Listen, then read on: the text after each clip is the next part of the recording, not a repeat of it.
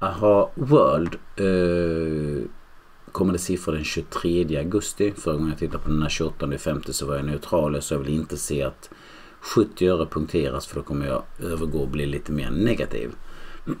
och det som har hänt sedan dess. Om vi zoomar ut så ser vi att kursen har varit nere under eh, den här nivån vid 70 öre då. Eh, faktiskt redan samma dag som jag tittar på den. Eh, och eh, som vi ser nu så lutar fortfarande primärtrenden neråt. Och det här uppgången som vi fick den resulterade i att elimineras redan dagen efter. Jag är neutral till svagt, svagt, svagt negativ till AHA World.